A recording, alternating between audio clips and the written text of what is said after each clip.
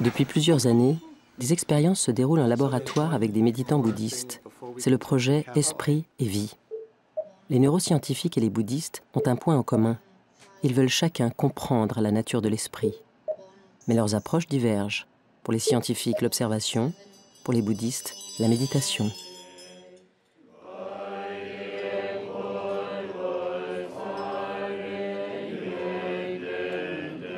Dans le nord de l'Inde, il y a 2500 ans, Bouddha découvrait que la souffrance humaine a une cause et qu'il est possible de s'en libérer.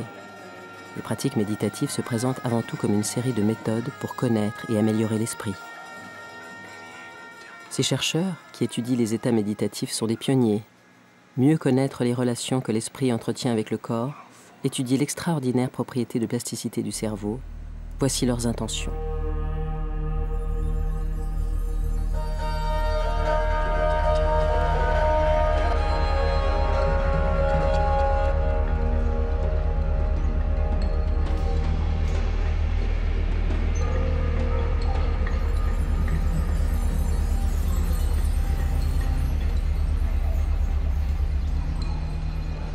We are always improvising at some point.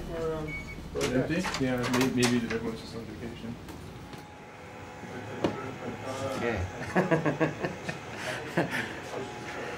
Ah, rentrer dans la. Comment ça s'appelle La capsule spatiale. We're going to have you in there for a fairly long stretch. Yeah. I mean, longer than, I mean, not longer than we've ever done, but, you know, at the long end. And so, needless to say, if you start feeling like you're uncomfortable or you've just, No, it's just uh, no, it's not that. It's just uh, you know invol- involuntary movements. Or I mean, you I- tell I us try if, to- if it feels How like do you do with the balloons or to? to we just have just a, a, a, a pillow. So you don't do a, a, a ball- No. inflating balloon. No. You don't me- No, I, I hate that no, thing. we I don't said, I said no way. We don't- we don't do that. It will begin with a 30 second period where you're going to be cued to go into one of your either one of two meditative states or be in a neutral state. So we'll use the words neutral, focused, or open presence. if I see all the instruction The will come words will come up. Yep. Then you will do whatever it is that you do to transition into either the, the Right. focused attentional. Right, You, right. Are these words clear to you? At which which Yes, state I mean? yes, of okay. course. All right, Lee. I think we're ready for magnetic screening.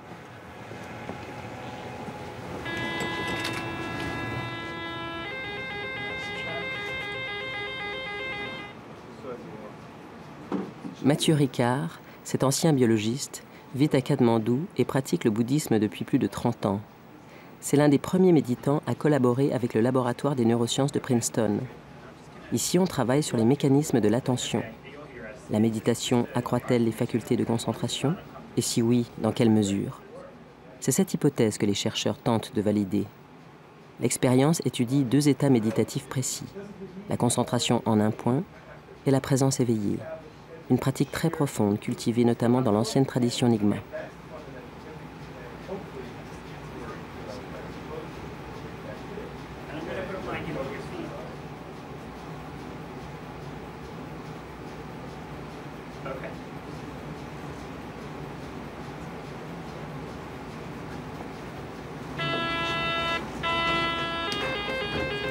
Okay, Mathieu, we're ready to begin. Are you ready? Okay.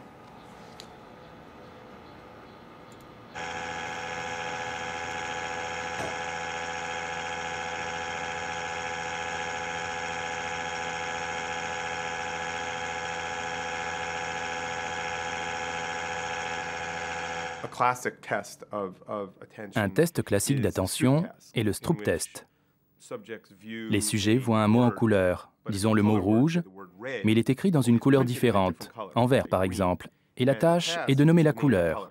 Dans ce cas, je devrais dire vert, mais il est très difficile de surmonter l'envie de lire et de répondre rouge.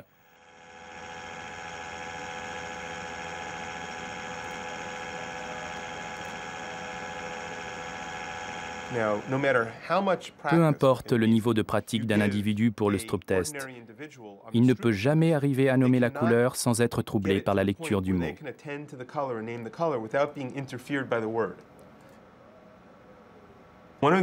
Une chose qui serait intéressante à observer, est-ce que Mathieu, lorsqu'il médite la concentration en un point, peut se concentrer sur la couleur en évitant la distraction du mot et donc réduire la marge d'erreur Nous comparons la performance de Mathieu dans cette tâche à sa performance dans un état neutre où il effectue le test comme vous et moi. Et si nous voyons une différence, ce sera vraiment une découverte intéressante. Cela suggérera que l'état de concentration en un point aura développé son attention sélective d'une manière supérieure à celle que vous ou moi sommes capables d'accomplir. Um, okay, Mathieu, is that okay on your end? Very good. Uh, if you don't mind, we're going to just continue then with another uh, block of exactly the same task. Okay.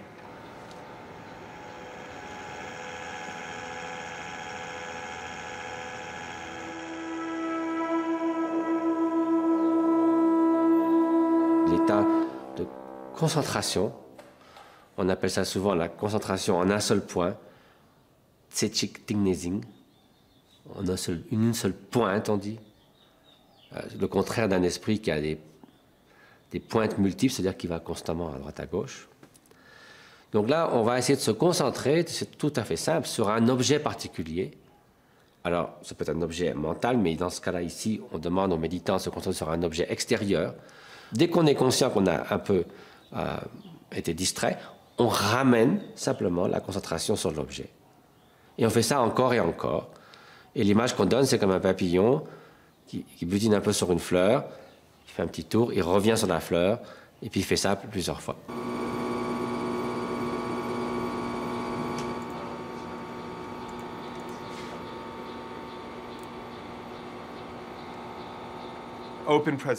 La présence éveillée, c'est sans doute l'une des pratiques les plus importantes du bouddhisme que je tente peu à peu de comprendre davantage. Um, Ce n'est pas seulement l'aptitude à contrôler l'attention, bien que cela en soit une des composantes, mais surtout la faculté de contrôler et de maintenir une posture émotionnelle.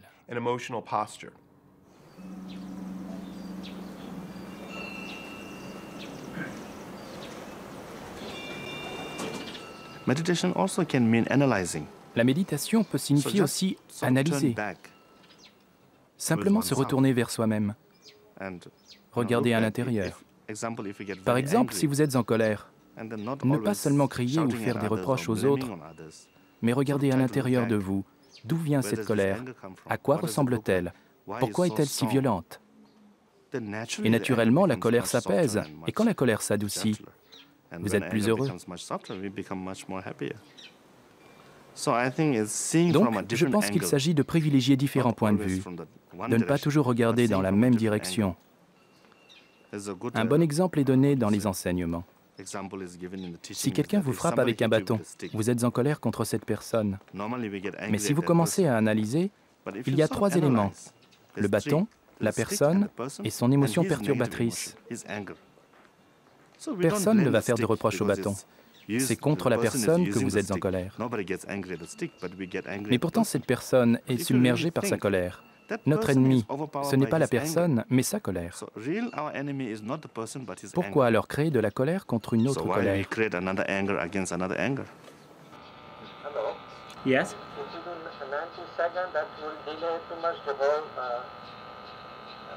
Okay, give me one moment to think about that. Up to a minute 30 now? Yeah, so, no, so he's, he's asking for longer periods of time to transition. I was worried about that. Um, yeah, so. Gone from 30 seconds to one minute. Right, and he said for open presence, an extra 30 seconds would be beneficial. We've gone up to a minute already? A minute he asked Just for. now? Oh. Just now I added it, and he tried it at a, at, thir- at a minute and thought, you know, if I could have a little longer, it's another 30 seconds. Oh, what's going to add? It's going to add a Okay, let me just get set up and we'll get started momentarily.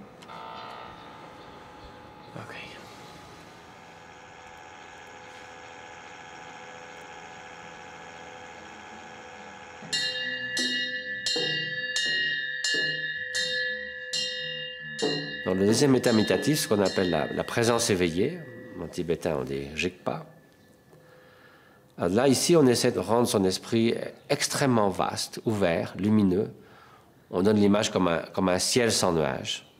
Donc à la fois transparent, lucide, mais extrêmement vaste. Et on pense que l'esprit se mêle à ce, ciel illimité et que de ce fait, l'esprit devient libre de toutes les constructions mentales, toutes les élaborations mentales. Et bien qu'on n'essaie pas d'arrêter ou de bloquer les pensées ou les perceptions, néanmoins, on cesse d'être influencé euh, par, par les phénomènes, par les perceptions. On les laisse tels qu'ils sont.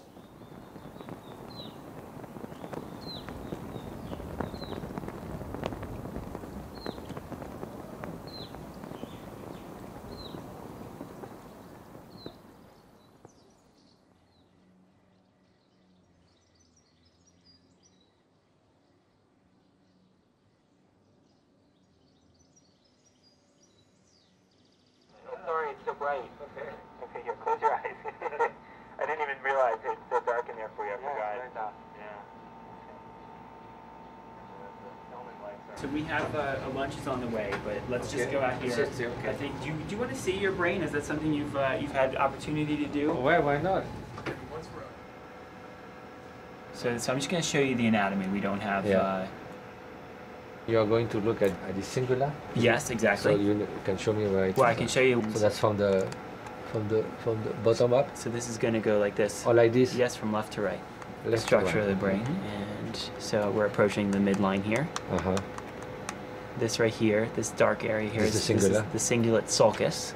And what we're interested in generally is the cortex that surrounds the sulcus, um, the cingulate gyrus and the area just... So that's why when you do an error, something is manifest th This is what, what's believed, and, yeah, and yeah. Uh, there are different versions of what, what exactly causes the response, but this is certainly an area of interest for, for these studies.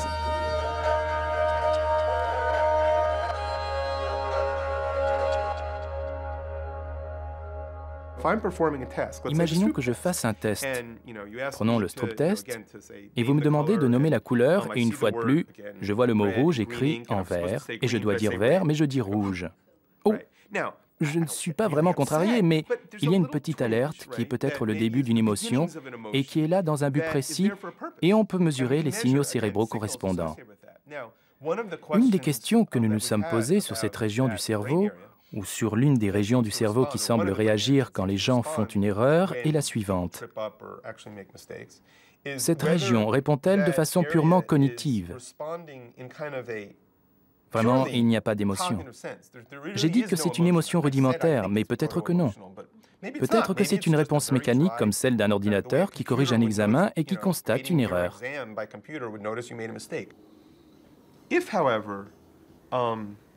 Si, quand vous êtes en état de présence éveillée, vous pouvez effectuer au même moment un test cognitif et ajuster ou changer votre réponse émotionnelle en fonction du test. Alors, on pourra avoir une dissociation entre les réponses de ces zones cérébrales. Donc, il y a une opportunité ici pour nous. Je ne veux pas apparaître comme un mercenaire, mais il y a une opportunité d'exploiter l'aptitude d'un méditant à établir une stabilité émotionnelle et à effectuer une tâche en même temps. C'est une occasion pour comprendre quelles zones du cerveau interviennent de façon séparée ou ensemble pour coder ces mêmes fonctions. Um, Il y a un vrai point de rencontre ici.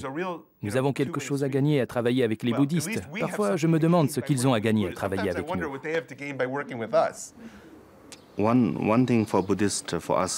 Une chose importante pour les bouddhistes est de partager. Nous ne cherchons pas à convertir. Si vous regardez l'histoire du bouddhisme, nous n'avons jamais cherché à convertir. Mais nous partageons notre connaissance et les gens qui sont intéressés, nous les accueillons.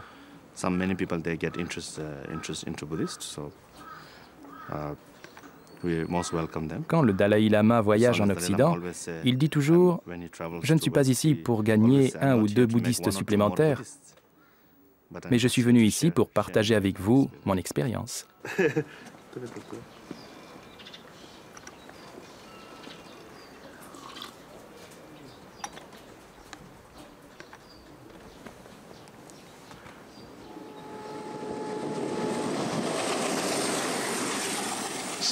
En 1990, j'ai eu le privilège de participer à la troisième conférence Esprit et vie, organisée avec des scientifiques et le Dalai Lama.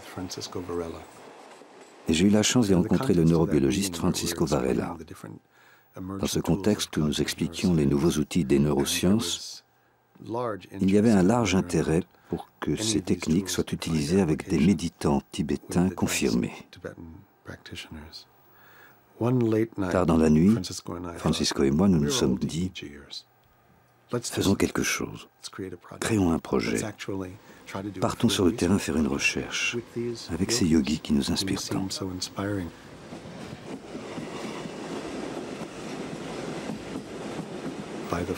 À l'automne 1992, nous avons commencé un travail de terrain en Inde et le but de cette recherche était d'identifier des moines confirmés et de recueillir leurs réactions sur une série d'expériences que nous voulions entreprendre dans le futur.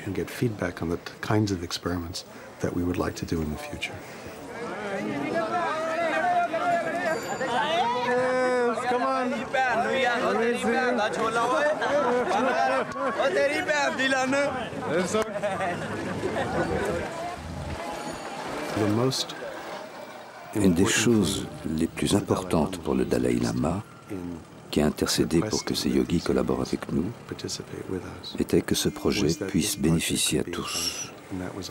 Et c'était aussi notre motivation. Parce qu'en Occident, toute méthode qui pourrait éliminer les effets nocifs de la vie moderne serait une contribution très significative.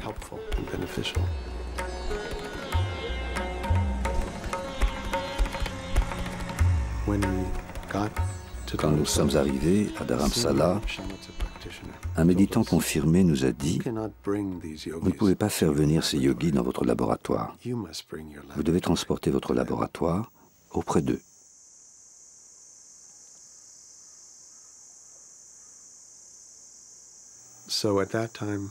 À cette époque, nous avions installé un laboratoire que nous avons dû en fait abandonner. Et alors a commencé une série de rencontres avec de grands méditants qui étaient en retraite depuis des années et qui vivaient dans des huttes construites de leurs propres mains.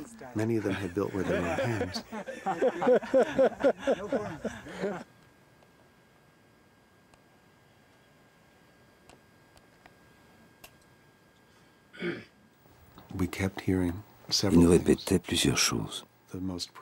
Si vous voulez comprendre l'esprit, eh bien, méditez.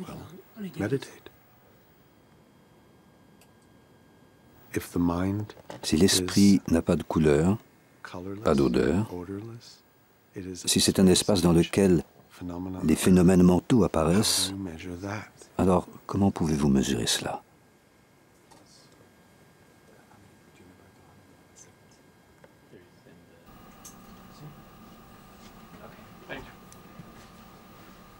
Okay, so I'm going to give you a minute and a half, and it's going to look just like it did downstairs. You'll see the words neutral, focused, or open presence. That's all fine. For yes. 90 seconds, mm -hmm. and then it'll be followed by the task.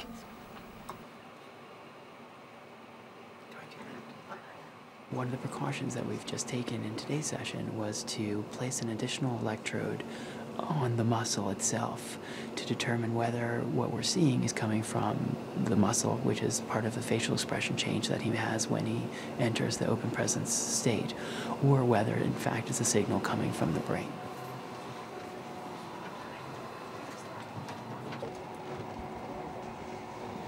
All done? Mm-hmm.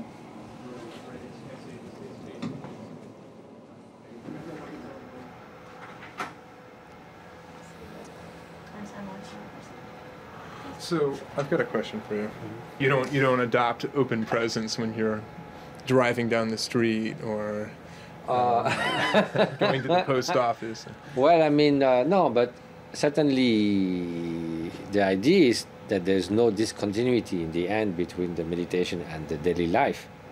So certainly, I mean, we say uh, experienced meditator they remain in open presence all the time. It's a kind of you know the notion of flow this is a very uh, fundamental and very profound and inner notion of flow, I think.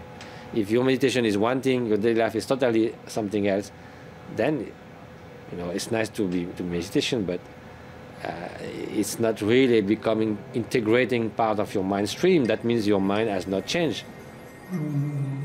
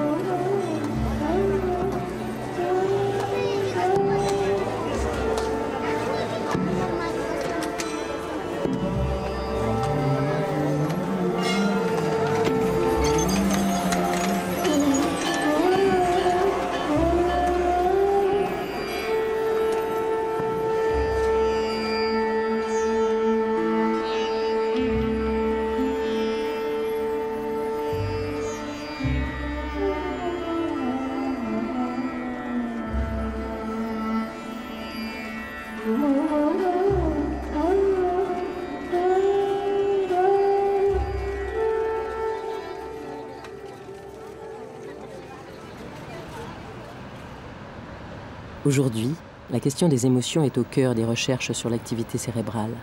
Mais comment fonctionne la régulation émotionnelle? L'hypothèse des scientifiques du projet Esprit et Vie est que notre capacité à réguler les émotions peut transformer notre tempérament et par là même améliorer notre aptitude au bonheur. Cet entraînement émotionnel que les bouddhistes pratiquent depuis 2500 ans attire et questionne la psychologie occidentale.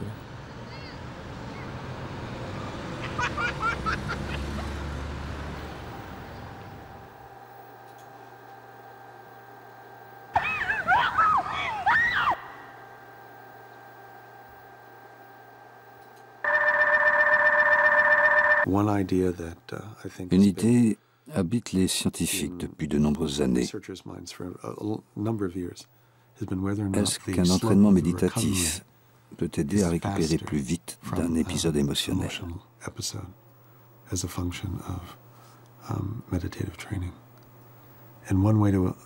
Une façon de faire est de susciter artificiellement une émotion, puis d'observer sa montée et son retrait. On peut mesurer cela avec la physiologie, les expressions faciales et d'autres mesures indirectes comme le sursaut oculaire. Nous présentons une diapositive et puis, quelques secondes après son apparition, le sursaut oculaire peut se déclencher.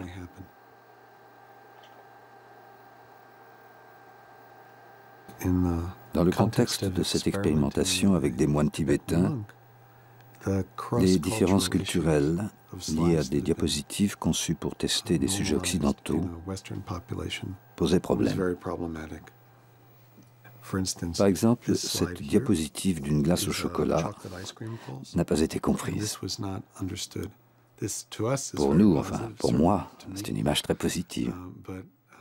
Eh bien, le méditant n'a pas reconnu cette image.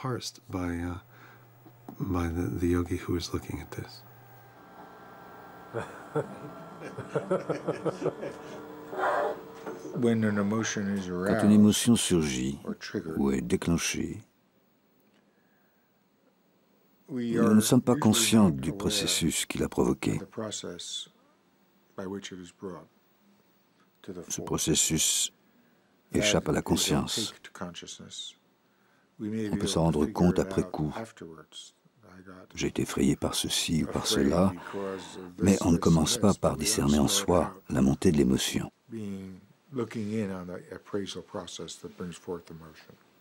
C'est automatique et ça arrive en une fraction de seconde. Même le Dalai Lama dit qu'il ne peut pas l'observer. Mais ce que l'on peut apprendre à observer avec beaucoup d'effort, c'est la montée de l'impulsion qui motive l'action et qui est aussi très brève. Mais les bouddhistes se concentrent particulièrement sur cette impulsion. Okay, Erica will talk to you. Mm-hmm. Okay, Renee. Uh-huh. We're going to start the first film now.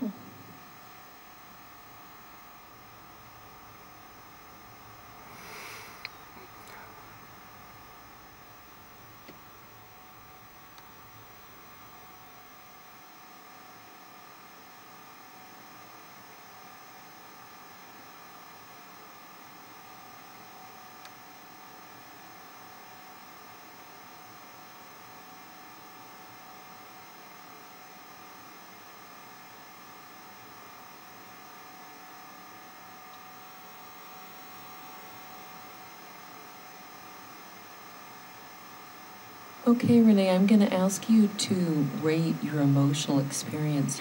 And I'd like you to use a scale from zero to eight to tell me how much of each emotion you felt. Mm, zero to eight. Yes. So the first one is anger. Zero. Sadness.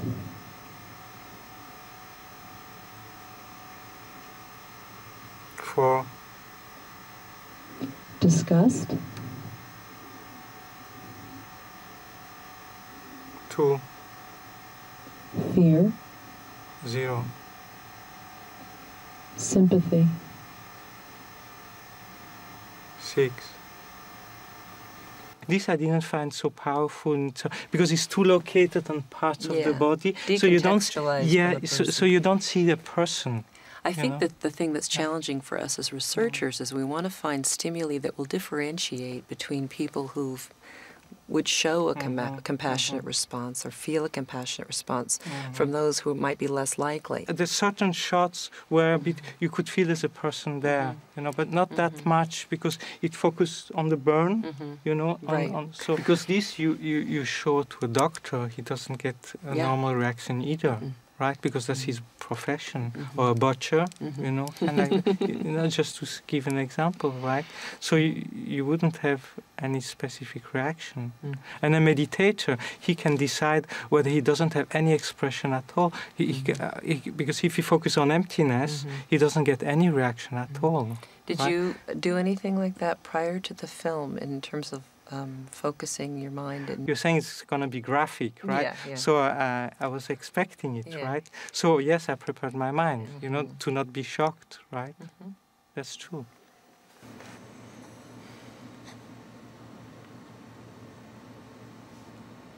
just for a little coding, did you see what he just did? Faisons un peu de codage. Um, Avez-vous vu ce qu'il vient juste de faire fax, the facial Avec le fax, le système de codage des expressions faciales, qui est un système totalement cohérent Pollock d'unité and d'action développé par Paul Ekman et Wally. Friesen. Um, Tout mouvement visible du visage reçoit un numéro de code arbitraire. Si vous soulevez la partie intérieure du Um, sourcil, c'est l'unité d'action 1. eyebrows, that's Si vous levez la partie extérieure, c'est l'unité two, which 2, is what he just did. ce qu'il vient juste de faire. Et si vous les froncez, c'est l'unité 4. Il y a 44 unités d'action. Là, il a dilaté ses narines. C'est l'unité d'action 38.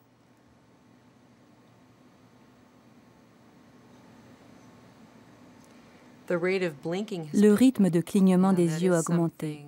Et c'est une action que l'on code. Tout le monde ne le fait pas, car le rythme de clignement est très fréquent.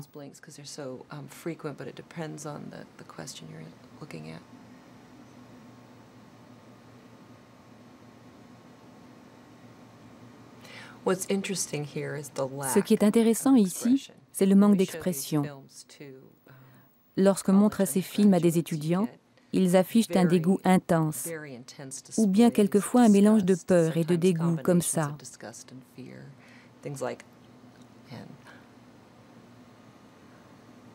Accentué.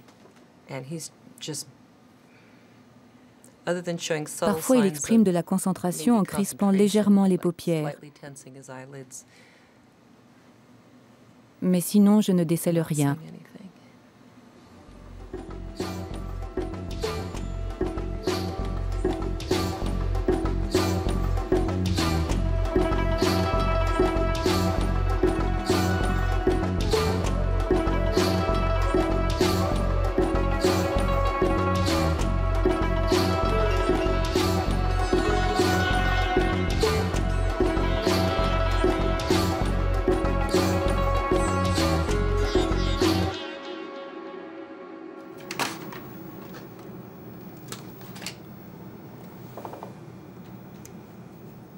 San Francisco, le projet de recherche CEB, Cultiver l'équilibre émotionnel, initie des professeurs d'école à la méditation de la présence attentive.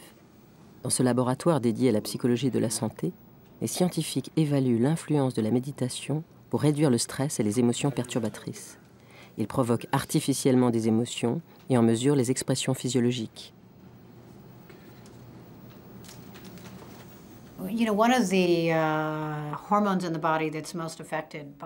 Une des hormones du corps la plus affectée par les facteurs psychologiques est le cortisol. On l'appelle l'hormone du stress. Et ce que nous avons montré, c'est qu'elle ne réagit pas à tous les types de stress et que son taux augmente seulement sous certaines conditions. En fait, il y a très peu de circonstances qui activent cette hormone. Et l'une des plus puissantes est de se retrouver dans un contexte d'évaluation personnelle ou de jugement social.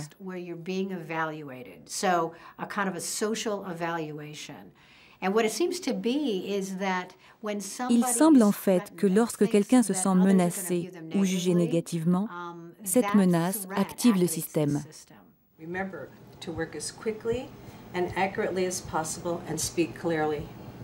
Look straight into the camera and speak into the microphone and we'll begin at 2095 continually subtracting 13.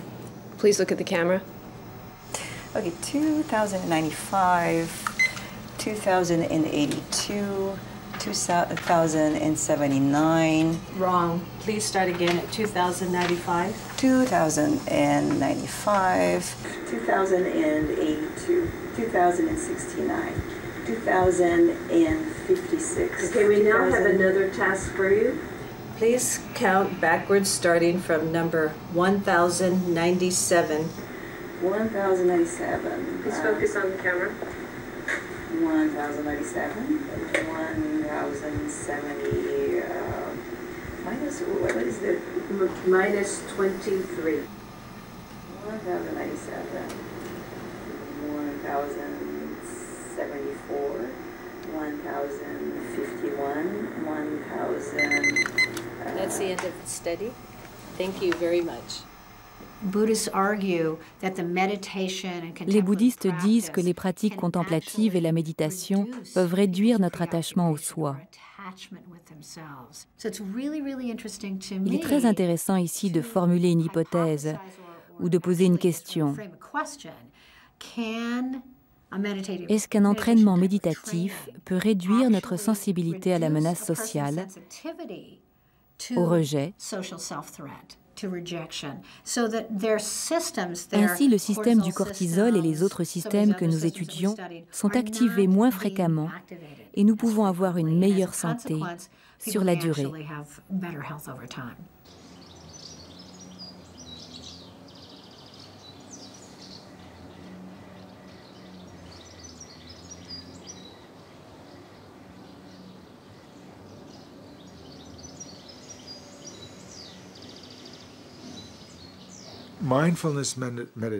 La méditation de la présence attentive,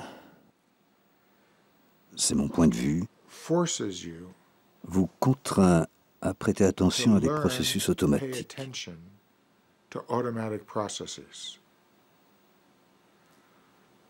Respirer est automatique. On n'a pas besoin de penser pour respirer.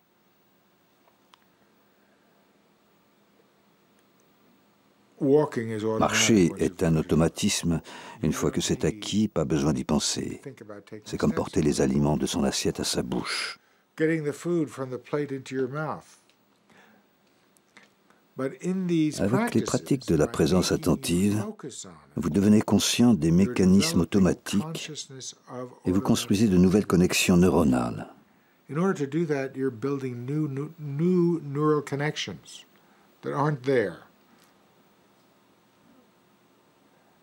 Ma théorie, et c'est dans les dernières pages de la seconde édition de mon livre Les émotions révélées, est que ces nouvelles neuroconnexions, développées par le contrôle du souffle, de la marche ou de la nourriture, vous permettront de maîtriser la montée des impulsions émotionnelles qui sont aussi automatiques. Si vous rendez des processus automatiques conscients, alors vous serez conscient d'autres automatismes.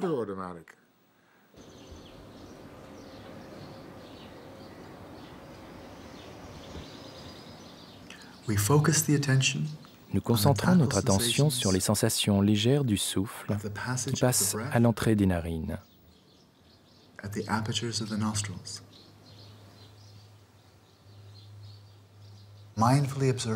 Observez avec attention la sensation de l'inspiration.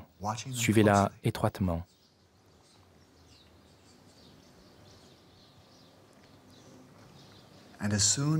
Et dès que vous sentez que le relâchement ou la lourdeur s'installe dans votre esprit, immédiatement remédiez-y en reprenant votre attention et en retrouvant un nouvel intérêt dans la pratique.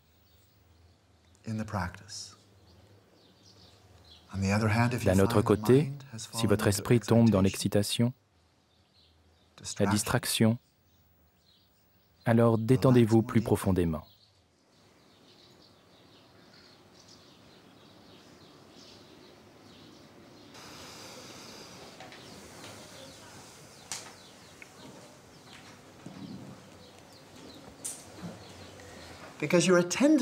C'est parce que vous prêtez attention à la sensation tactile de la respiration.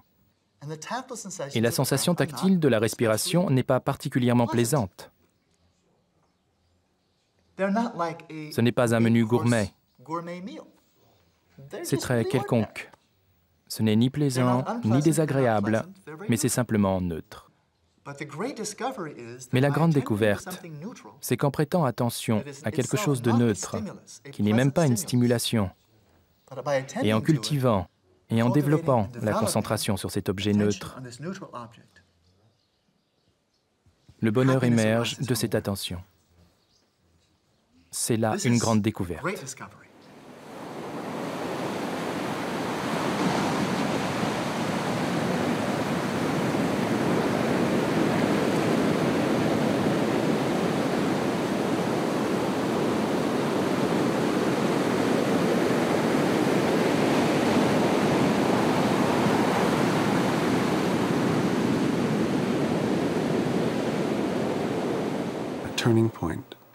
Un moment crucial dans cette recherche sur le terrain s'est déroulé une après-midi dans la maison d'un yogi avec qui nous avons discuté de la nature de la compassion. Il ne voulait rien avoir à faire avec nos tests et nos ordinateurs. Et cet après-midi a changé notre vie. Ce guéché s'est ouvert à nous et il a abordé la possibilité de susciter, par l'émotion, le désir sincère de soulager la souffrance d'autrui.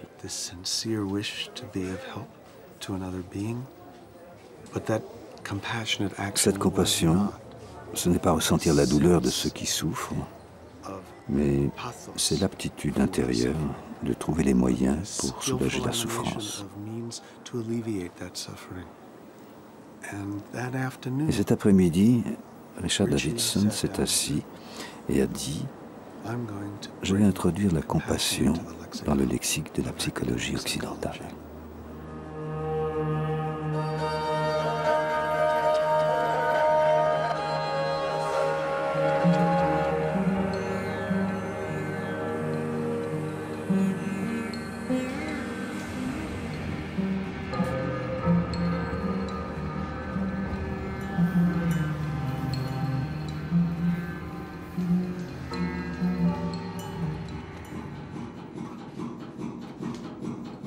Yontem est un gomchen, c'est-à-dire un pratiquant confirmé. Il vit au Bhoutan, un royaume bouddhiste au cœur de l'Himalaya oriental. Une dizaine d'autres méditants confirmés l'ont précédé dans ce laboratoire des neurosciences de l'affect. Ici, à l'université du Wisconsin, la recherche porte sur un sentiment méconnu de la psychologie occidentale, la compassion. Pour les bouddhistes, la compassion est une méditation centrale, complexe, qui ne s'adresse pas aux novices.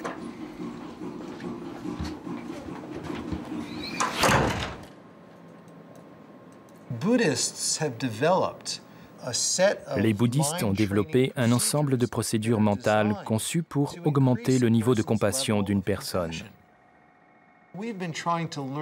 Et notre objectif est de mieux comprendre ce que l'entraînement volontaire de la compassion produit dans le cerveau. Nous utilisons l'électroencéphalogramme et l'IRM pour observer les changements induits dans le cerveau par la pratique de la génération volontaire de la compassion.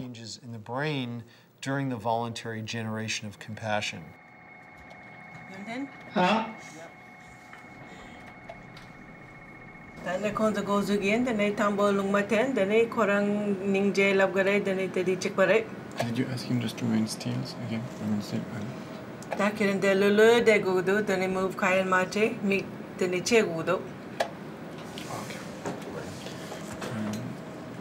and we're starting now.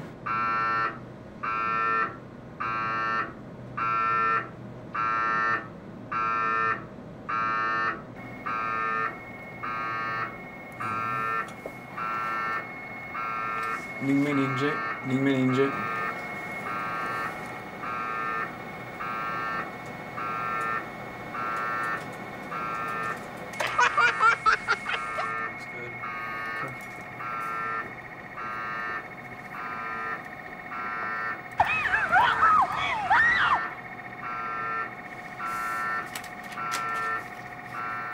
Donc là, on leur envoie des, sons qui ont un système de valence, ça peut être positif, négatif ou neutre, et on essaie de voir, on compare la réponse du cerveau à ces stimuli euh, dans cet état de méditation et dans un état neutre sans méditation. Et on essaie de mieux comprendre comme ça l'impact de, de, cet état méditatif euh, sur le cerveau.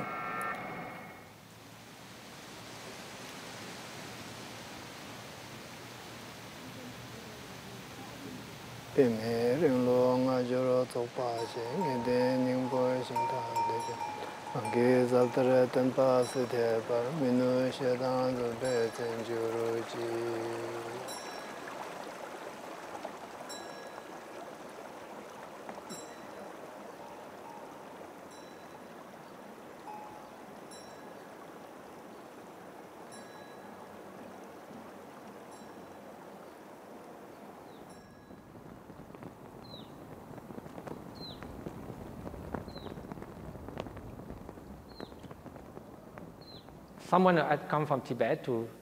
Quelqu'un est venu du Tibet pour rencontrer le Dalai Lama. Il avait passé une quinzaine d'années en prison. uh, et il avait été torturé de nombreuses fois. Uh, et sa sainteté lui a demandé s'il avait peur parfois.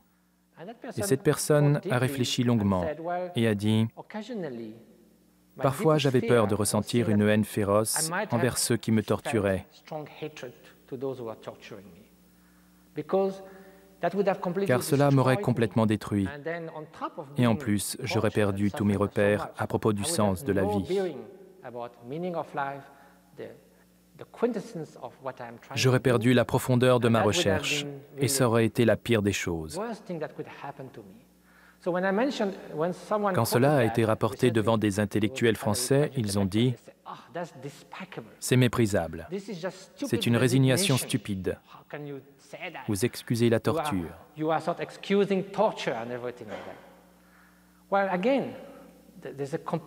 Pourtant, il y a une différence entre la résignation et la compassion envers ceux qui vous maltraitent. Et il faudrait seulement espérer que les sentiments qui provoquent tout cela que toute la souffrance qu'ils infligent aux autres et parfois à eux-mêmes, que cela disparaisse et que ces émotions destructrices quittent leur esprit. Voilà la véritable compassion.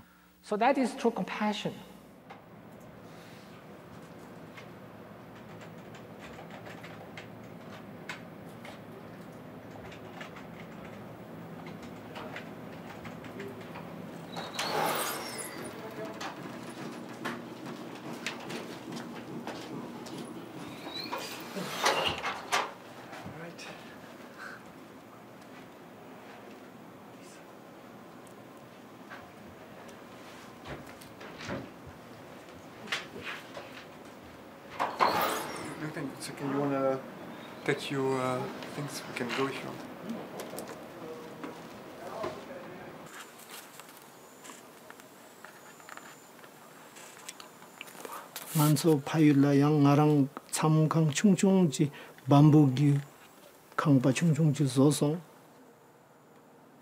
데니 나랑 딜라 데소 데 칼라 데소 파마기테 데니 디다부 데니 원도 툰시지 고츠네 데니 차 데니 원도 잡도 셈게 멘델 이자 디소 창마 만땅 차성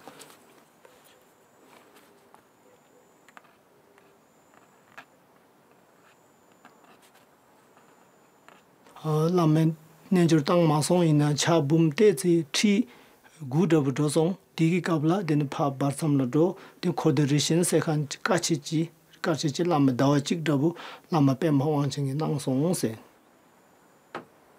deni chabji jari rinpoche ni nying thi gi nang ne deni pe me se ka chenpo zafu di yeshi lama sayang ya jar yore o digi thiga chi thop song di je di deni nga rang yinju tersar gi nyamlen je khan re losum nangla dene kato ngondo tangne dene ki ka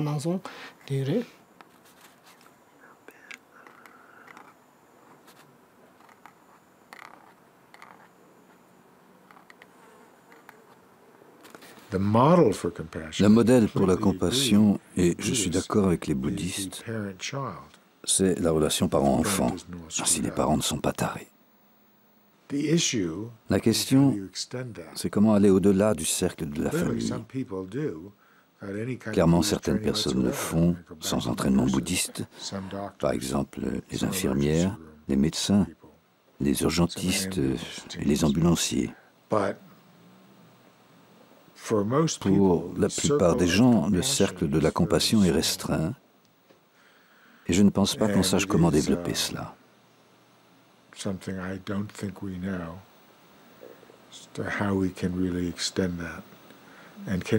Et peut-on imaginer que tout le monde devienne, à l'instar de Dalai Lama, compassionnel envers tous les êtres vivants?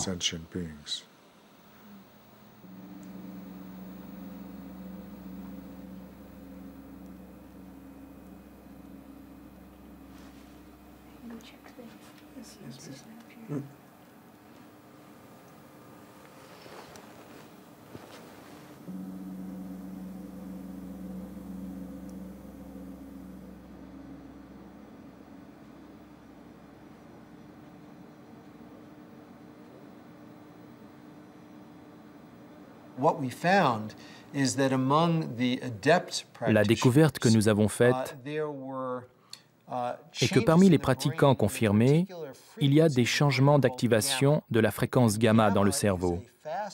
Et gamma est une fréquence d'oscillation associée à l'activité de réseaux de neurones dans le cerveau. Et ce que nous avons trouvé, c'est qu'il y a des réseaux spécifiques qui sont activés en synchronie. Um, Et nous avons observé en particulier des réseaux dans le cortex préfrontal et aussi à l'arrière du cerveau dans le cortex. pariétal. Um, et ces zones étaient fortement activées et en complète synchronie pendant la génération volontaire de la compassion.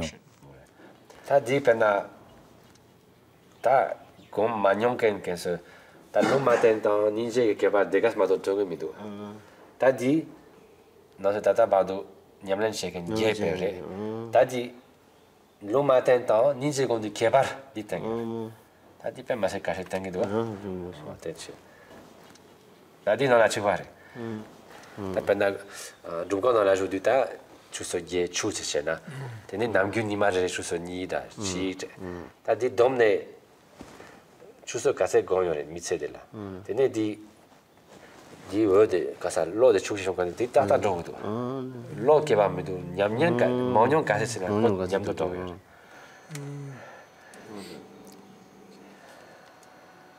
tene rinpe rinpe chidu kaso yang te lab tene pa ma lab chik na la rampo ke keba shi yore pasha dik dhogu re samu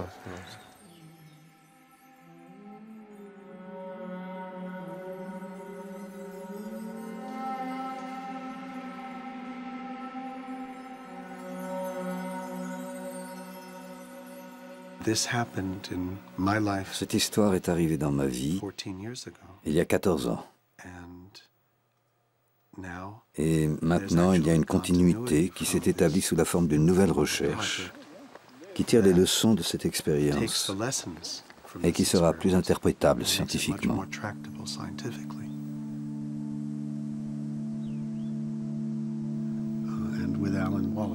Alan Wallace et moi nous avons entrepris un projet de seconde génération, le projet Shamata.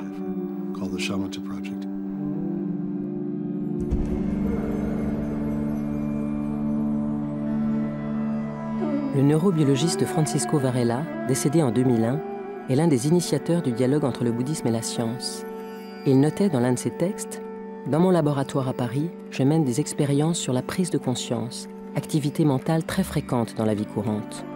Et lors des expériences, il est nécessaire de distinguer les personnes qui agissent avec naturel de celles qui ont une pratique de la présence attentive. Ces deux catégories donneront des résultats différents. Le travail personnel sur l'expérience vécue ne peut plus rester extérieur à la recherche scientifique. Là se situe le potentiel révolutionnaire issu de toutes les traditions contemplatives qui constituent l'héritage de l'humanité.